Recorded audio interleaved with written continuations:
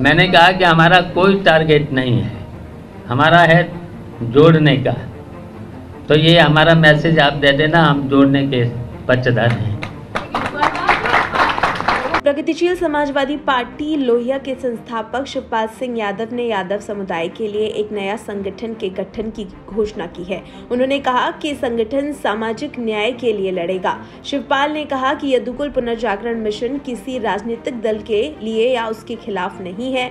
शिवपाल यादव यदुकुल पुनर्जागरण मिशन के संरक्षक होंगे। वहीं संबल के पूर्व सांसद डीपी यादव इसके अध्यक्ष हैं, जबकि लेखक विश्वात्मा मिशन के संस्थापक सदस्य हैं।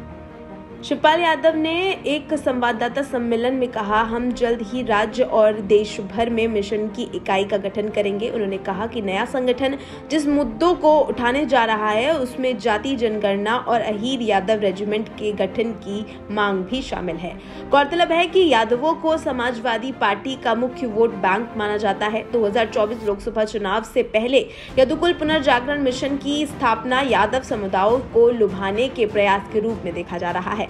शिवपाल यादव ने हाल ही में अपने भतीजे और समाजवादी पार्टी के प्रमुख अखिलेश यादव से दूरी बना ली। समाजवादी पार्टी से खींचतान के बीच शिवपाल यादव ने 2018 में प्रगतिशील समाजवादी पार्टी लोहिया का भी गठन किया था। पिछले दिनों समाजवादी पार्टी ने बकायदा आधिकारिक बयान जारी किया था कि शिवपाल को अगर ये लगता है कि उन्हें पार्टी में उचित सम्मान नहीं मिल रहा है तो वो कहीं भी जाने के लिए स्वतंत्र हैं। समाजवादी पार्टी ने शिवपाल यादव के साथ साथ सोहेल देव भारतीय समाज पार्टी के अध्यक्ष ओपी राजभर के लिए भी ऐसा बयान जारी किया था और हम तो कहेंगे कि ये जो भी सरकार है, चाहे उत्तर प्रदेश की सरकार है, चाहे केंद्र की सरकार है, जो हमारे हैं, ये सूत्र समझे और माने।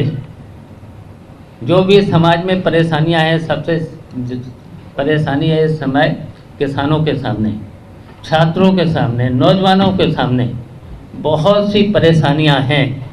इसके लिए हम लोग सबको जागरण करेंगे और इस मिशन को चलाएँगे। आज जो ज़िम्मेदारी इस संगठन ने दी है, डीपी यादव जी की अध्यक्षता में और हम आगे आगे संगठन को तैयार करके सबको जोड़ने का जितने भी उपेक्षित लोग हैं, वंचित लोग हैं समाज में, आगड़े पिछड़े जितने भी वंचित हैं, सबको इकट्ठा करेंगे।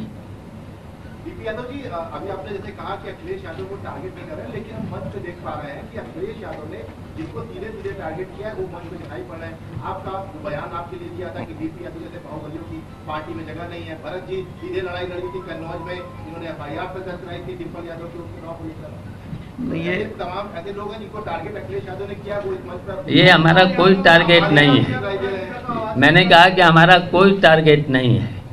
हमारा है जोड़ने का।